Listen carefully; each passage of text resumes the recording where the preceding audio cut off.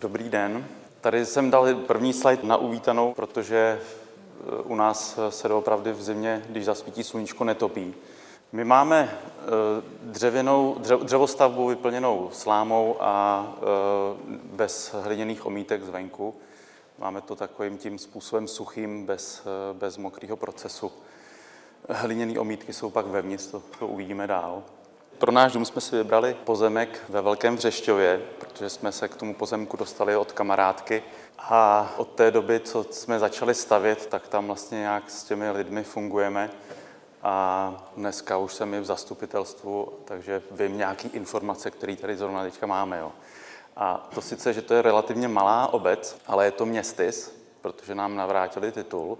Máme tam na těch 240 obyvatel tři architekti, teda my dva se s manželkou a pak ještě jeden ve vzdálenější části obce, na druhé straně obce.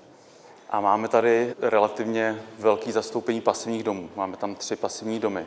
Jeden je teda náš slaměný, druhý jsme postavili v loňském roce podobným způsobem, akorát místo slámy tam je celulóza a třetí je nějaký standardní domek, hodně zaizolovaný se sedlou střechou.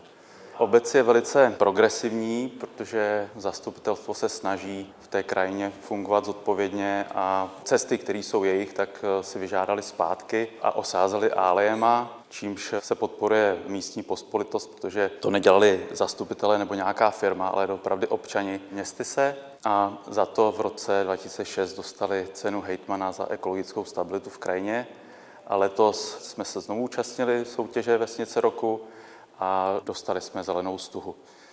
K naší stavbě. Bylo to nadlouho celé povolování. V roce 2004 jsme si na základě územního rozhodnutí, protože jsme předtím nevěděli, jestli nám tam tu stavbu e, povolí, takže jsme si ji nejdřív prověřili na stavebním úřadě přímo vydaným územním rozhodnutím.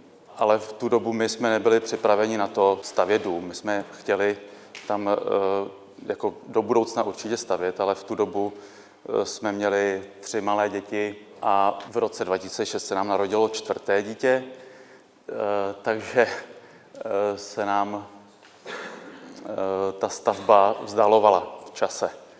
Ale my jsme nějak na to nespěchali, že bychom tam museli zrovna hnedka jít, takže nám to nějak tak jako vyhovovalo. No a v roce 2006 jsme zažádali ve Lhůtě o stavební povolení, ale věděli jsme, že to jen tak rychle nepůjde, protože nám zrovna umřela sousedka a tudíž se celé řízení zastavovalo, protahovalo až vlastně do roku 2008. Ale nebylo to kvůli slámě, jo? to opravdu to bylo jenom kvůli tomu umrtí sousedky. Po půl roce, co jsme měli vydané stavební povolení, jsme začali stavět od základů až po střechu po šesti měsících po půl roce jsme měli dokončeno tak, abychom se mohli do spolehlivě udělané konstrukce na černo nastěhovat.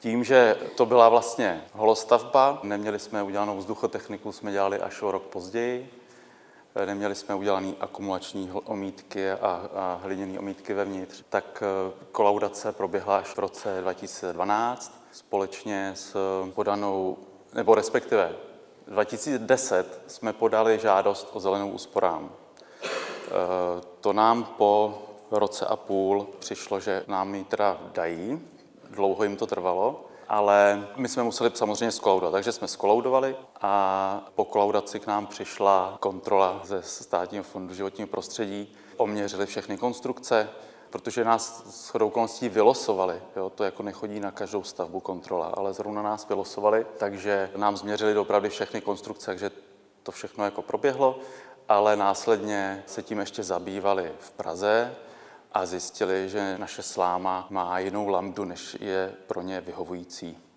A tu už nám ale ty peníze přišly od nich, takže bylo otázka, jako jestli to budeme vracet nebo ne. Nakonec jsme to uhájili právě s odkazem na zahraniční literaturu. A myslím, že nakonec jsme i předělávali posudek, ale furt tam je vlastně pro tu zelenou úsporám 18 nebo 17,9 kWh na metr a rok. No a po pěti letech užívání jsme zjistili, že nemáme to základní, kvůli čemu jsme to celé dělali, a to sice terasu před objektem. A žili jsme venku, ale nebylo to úplně přímo v té interakci s tím vnitřním obytným prostorem, takže Tu jsme udělali až v roce 2014, stínění na terasu 2015 a je stále co zlepšovat. Tak to vypadal návrh domu v roce 2004. Jedná se o tenhle ten objekt. Tady máme povolený ještě druhý objekt, jako vejminek a garáž, ale to asi stavět možná nebudeme, určitě ne v této podobě. V roce 2004 tady máme velikou zimní zahradu, vzduchový solární kolektor, což tenkrát ve všech literaturách dostupných informacích bylo jako progresivní řešení, ale už v roce 2004 nebo 2005, to myslím Aleš Brotánek někde citoval, že e, zimní zahrady nejsou efektivní, protože jednak to je velice drahá záležitost, samozřejmě velké prosklení, ale nepřináší to tu, e, tu přidanou hodnotu v objektu protože jsem spolupracoval s architektem Veselým. Dělali jsme evangelický kostel na Chodově, kde ještě ve spolupráci s Atreou a s panem Morávkem jsme aplikovali akumulační stěny v interiéru, tak vlastně i tady v objektu byla vlastně po délce eh, těžká akumulační stěna s tím, že do, do ní bude zasazena teplý vzduch vlastně z, z kamen. Před zahájením stavby jsme udělali změnu, Tohle je pracovní verze, protože jsme s těmi čtyřmi malými dětmi nevěděli, jak na tom budeme finančně. Ještě jsme to ne, vlastně celé se to dělalo hodně na poslední chvíli, takže jsme neměli rozpočet kompletně celý, takže jsme si říkali, že uděláme tu přízemní část, takže na tom pozemku budeme přebývat přes víkendy a jako na chatě. A že druhou část ložnicovou postavíme později. Proto tady eh, spojovací krček. No a přišla krize 2009 a jsme říkali, že nejvyšší čas to postavit celý. Tohle je finální situace. My jsme na kraji obce. V těchto těch místech vlastně začíná pole. Jo. Takže teď tam je zrostlá kukuřice, proháně se tam divoký prasata a občas přijde polní zvěř, i srnci a, a srnky chodí. Největším problémem při tom usazování objektu byl požárně nebezpečný prostor, který nám specialista spočítal takhle až na kraj. Jo, kvůli tomu jsme takhle posazdili no, trošku od severní eh, hrany pozemku. Tady vidíme už, už vlastně to rozdělení, tohle je obytná část jako veřejná a tady vlastně ten dvoupodlažní objem je ložnicová část. A protože jsme byli odchovaní chalupou v Krkonoších, kde bylo dostatečně široké kamenné zápraží, tak i my máme vlastně tady v tomhle prostoru před obytným prostorem velkou terasu jako zápraží. Tady máme pudorys. Je to vlastně podobný systém, jako Aleš předváděl v minulou přednášku. Teda máme to na celou hloubku slemněný balíky. Tady vlastně to je schéma, schéma vytápění a vzduchotechniky. A my tím, že vlastně máme čtyři děti, tak se nám to teďka hodilo, že máme vlastně tady takhle čtyři výústky, že jsme pak ve finále ten, tu dispozici samozřejmě měníme podle potřeb rodiny. A každopádně do, to, do toho objemu 6x6 metrů vnitřní objem se vešly nahoře tři pokoje, dole místo ateliéru, který byl v rámci ložnice, tak čtvrtý pokoj a ložnice v těch, těchto místech.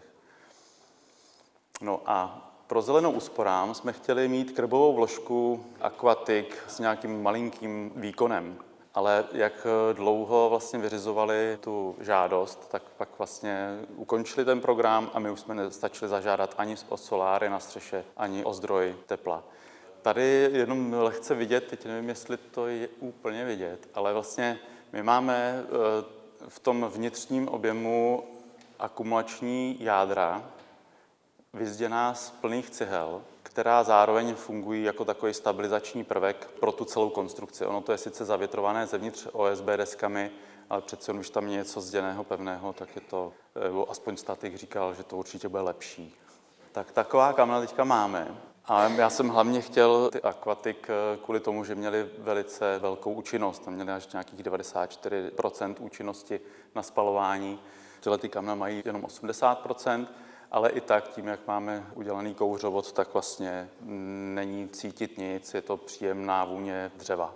Ještě se vrátím k tomu topnému systému. My vlastně tím, že máme eh, v těchto těch místech eh, kamna, on je to vlastně sporák, ale má to, má to tepelný výměník. tak eh, my máme dvě větve, a to sice jednu větev máme sem do té ložnicové části, původně do ateliéru, kde když člověk sedí eh, a je 20 stupňů, tak eh, pro tu práci to není úplně příjemný, už by musel být ve svetru a tak. Takže já jsem si pod stůl pracovní nechal udělat tady pěkně velký radiátor, ale vlastně až po roce užívání, kdy nejdřív vlastně v těle těch místech byly, byly Petry a celý dům se, se vytopil díky tomu, že tady jsme otevřeli velké, vysoké dveře a všechen ten teplý vzduch šel nahoru a do, do, do té ložnicové části.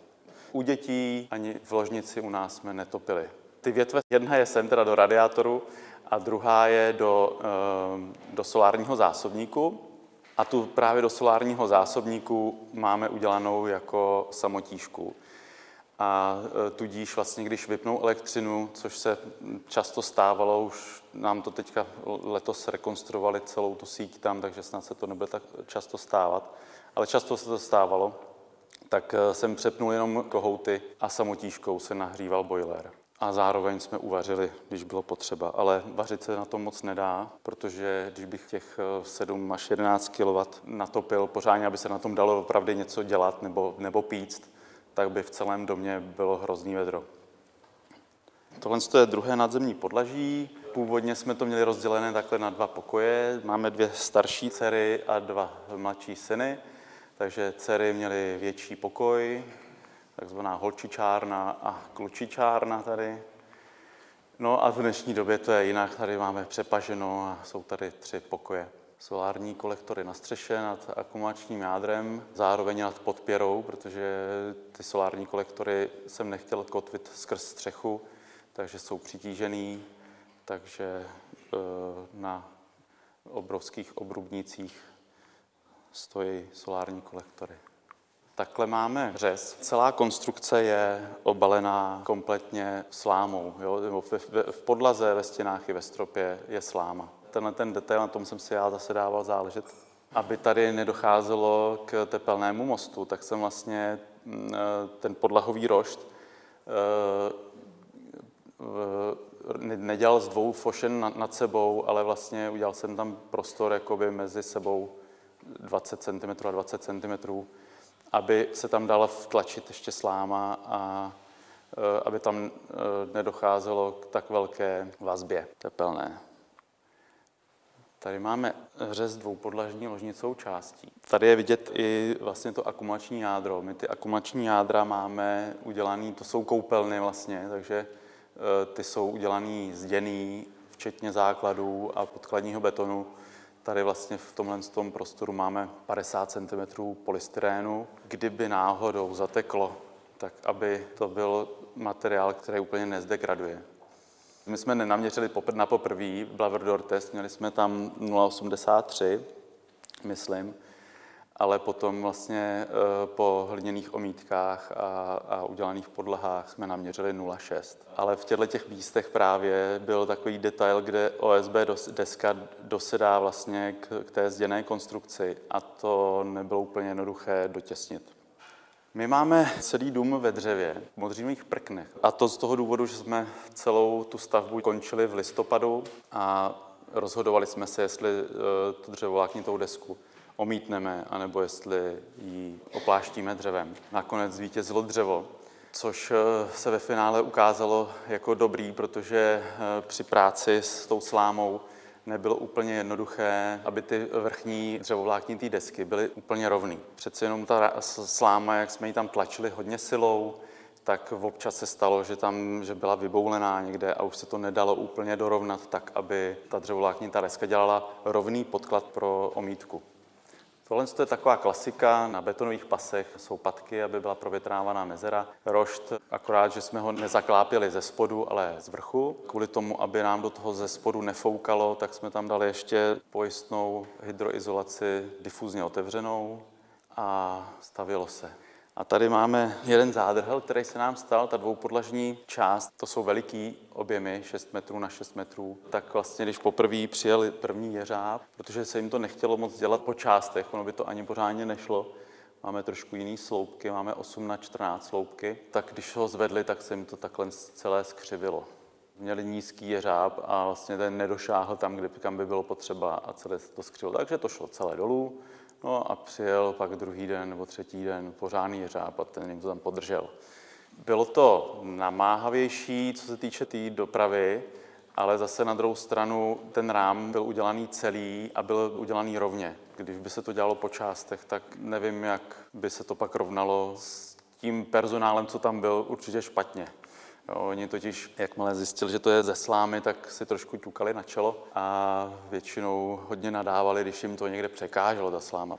Já jsem tu stavbu celou hlídal. Stavební firma, s kterou jsme dělali vlastně několik dřevostaveb, tak mi vyšla vstříc, že teda jako uvolní permanentně tři pracovníky, že tam budou pracovat.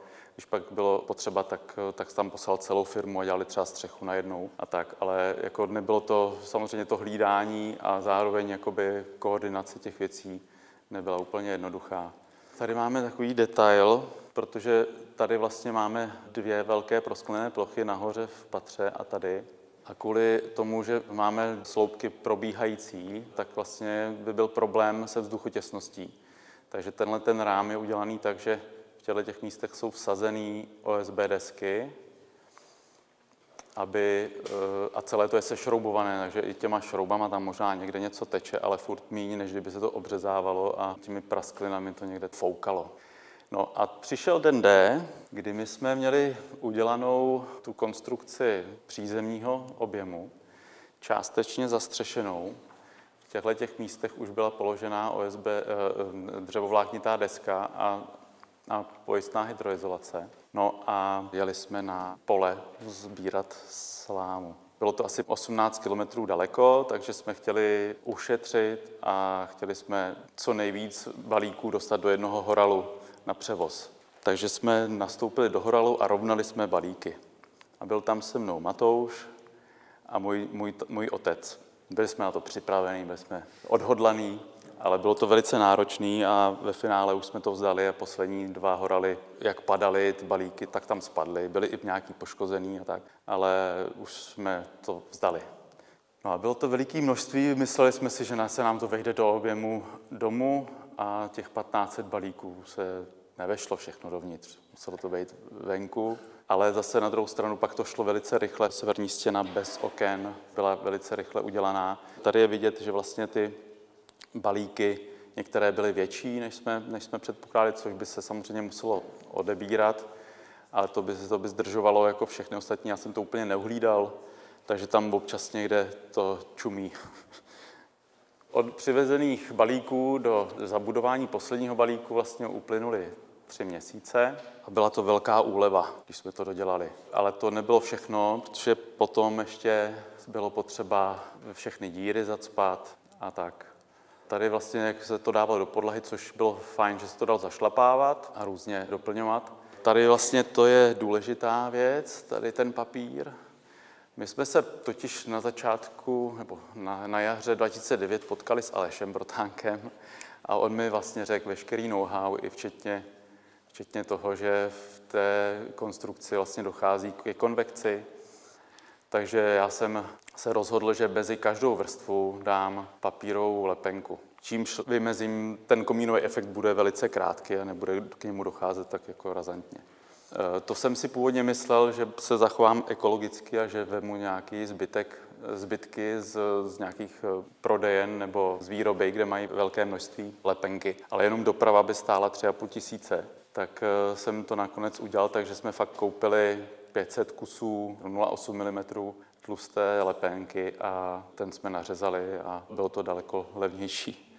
Tady mám jednu příhodu, protože jak jsme byli na poli, tak samozřejmě pan zemědělec nevěděl, jak hodně to má zhustit, tu slámu, tak eh, se mě ptal, jak hodně, tak já jsem vzal do ruky ten balík a řekl jsem, ten je moc lehký, musí být těžší. Tak to utáhl ten lis a utáhnul to vlastně úplně přesně, akorát, že nikdo to nevěděl, nikdo to neměřil a až vlastně na poput manželky, která vlastně říkala, a jak to teda bude fungovat, jak to máš vůbec prověřený, že to bude fungovat, kolik má ten balík vážit, tak až potom jsme začali vážit ty balíky. Některý byly těžší, některý byly lehčí. Tady je váha pod tím, jo? tady není pořádně vidět, ale vážilo se to. A doplňovalo. A tady izolování střechy.